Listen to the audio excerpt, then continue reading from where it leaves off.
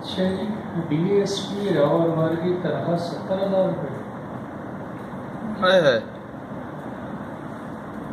DSP था ना क्या है? एसएसपी ये।